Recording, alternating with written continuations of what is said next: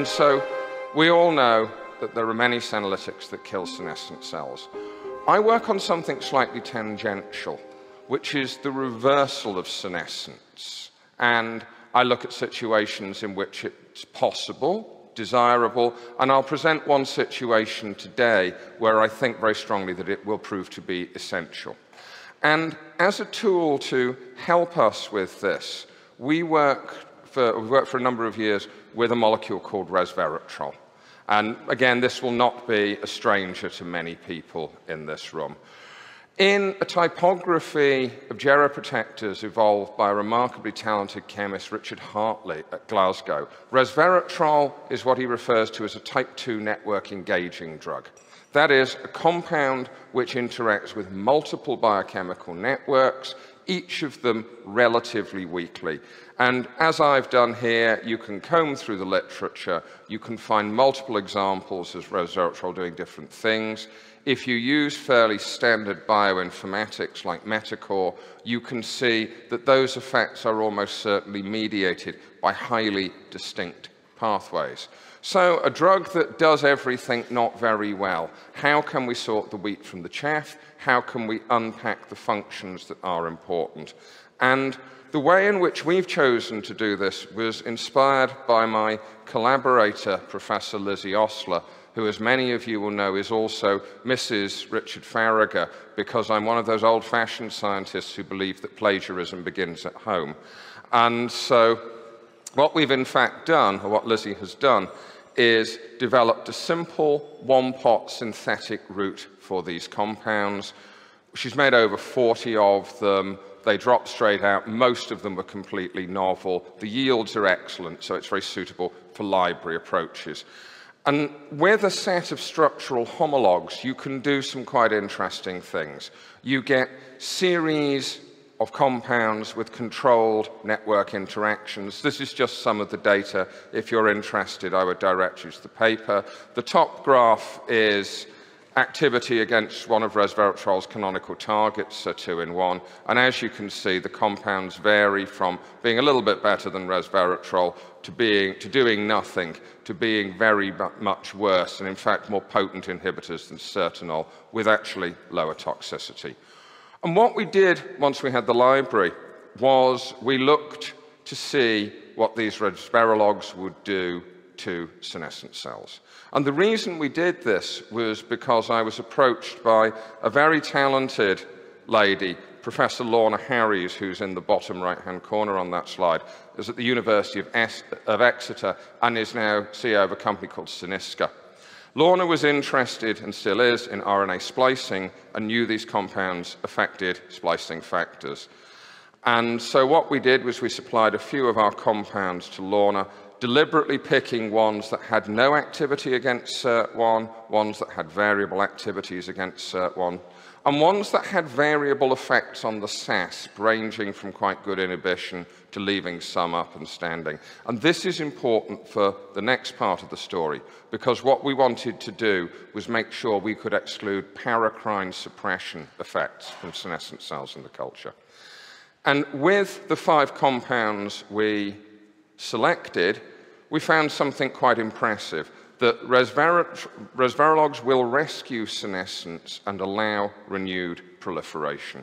So at the appropriate dose, senescent cells will re-enter the cell cycle, they will begin to divide again. This is associated with an extension of telomeres, and they will continue to proliferate. If you take the compound away, the telomeres shorten back down, and they go back to sleep.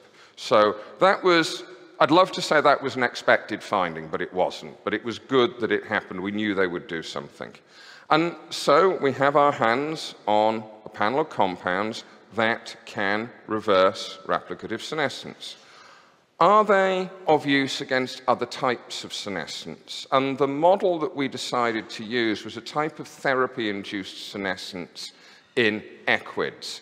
There are several reasons for this. One is that I'm very good friends with Roger Smith, who's the gentleman in whose lab this took place. The other one is that tendinopathy is common with aging.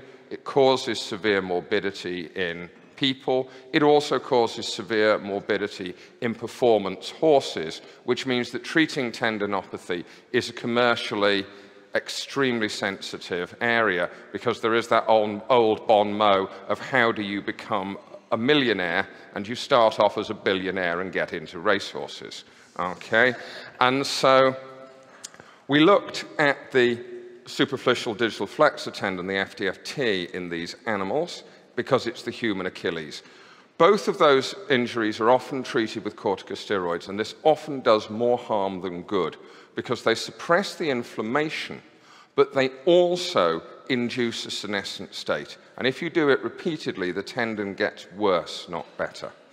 And if the, these are data from equine tenocytes, I hope what you can see, using doses that are significantly below the doses you get in vivo, corticosteroids will senesce tenocytes. That senescence is associated with an upregulation of the standard CDKIs, a restricted SASP that we term the ESASP, and the upregulation of a range of MMPs that will degrade the tendon. This is not good news in a tendon. The good news part of this story is that we are able to prevent therapy-induced senescence by corticosteroids using compounds from our resveratrol library in a way that is SIRT1 independent, like the reversion effects at all, because V29, a compound in our library, does not interact with SIRT1 at all, it doesn't activate it. And so this hopefully would mean that we can improve outcomes where corticosteroids are used in tendon injury. We're not the only people to be using these compounds. A colleague, Michael Wormstone, until very recently at the University of East Anglia, is using the parent compound to treat posterior capsular opacification. We're expecting to be able to dig into that and find out which pathways are involved, whether they are the same or different in the PCO situation. And the reason that we can do this is, again, because we have a compound library. Um, the screening system to pull out the pathways is very, very straightforward. We're doing that at the moment. We'll probably have it completed within a few months. And those results are not ready for prime time, as they say. And so I hope I've shown you that there are a couple of occasions where this might be desirable as well as simply possible. I'm going to now show you one where I think reversing or protecting from senescence is going to be essential. And this is in a slightly odd area for this community, which is the field of bioartificial organs, especially bioartificial liver systems. There's a schematic of a bioartificial liver behind me, and I'll show you a picture of the real device in a moment. But all one needs to know is that the core of these systems are hollow fiber cartridges containing HepG2 cells. All right. There's about 800 grams to a kilogram of HepG2s in the cartridges, and if you have liver failure, as you probably know, ammonia levels in your blood will go up, albumin levels will go down. The idea for a long time has been to plug sufferers into one of these devices. Their blood flows through the hollow fibers. Ammonia diffuses into the HepG2 cells, which turn it into urea and secrete it back and they secrete albumin as well. They do other things like detoxify antibiotics. There's a surprisingly large need for these systems, mostly driven by the shortage of organs. As many of you may be aware, aging is a major risk factor for the development of liver disease, but it's a bit of a one-two punch because as the population ages, we will start to see some problems. Increasing age is an independent predictor of poor transplant outcomes, whether you're giving an organ or getting one. And so we might end up with a situation where you have more people needing organs, they're poor transplant um, recipients, and the organs they get might not be very good. So anything that can be done would be useful. Um, but people have been working on these bowels for some time, and they always fail. This is just a study from pigs. Something about the patient's plasma causes the cells in the device to stop working properly. And people have persevered in the way that people do and cut their trial data and cut their trial data. These things have gone as far as um, phase three, where they failed epically. And that's simply to show you what one of the devices looked like. The culprits are almost certainly a potent cocktail of endogenous hepatotoxins. So I'm talking about things like ammonia, bilirubin, bile salts. And I was reading through this literature for reasons that don't matter. And people were describing the phenotypes of the cells after exposure to patient plasma, and they were eerily reminiscent, at least to me, of cell senescence, which these guys had never heard of. And with the help of an enormously talented, first of all, PhD student, now I'm glad to say returning as a postdoc, Dr. Neda Hadari, we started to look at this in 2 and 3D culture systems. And within, within six hours, in fact, it's more like an hour or two hours, exposure to a standard toxin cocktail in plasma will senesce HepG2 cells. And you can block that with resveratrologs. When HepG2 cells are rendered senescent, they do develop a SAS, but that doesn't matter because you're not hooked up to the patient for long enough. What they do stop doing extraordinarily rapidly is making urea. We can block that with resveratrologs. And what they also do is they stop making albumin and we can prevent that as well. And I think what we may be looking at here, if you read around in the bioartificial organs area, because people have been interested in making bioartificial kidneys as well, we may be looking at one of the blocks in the road and we may be looking at the first attempt to bypass it. And that would be good news for the artificial organs field.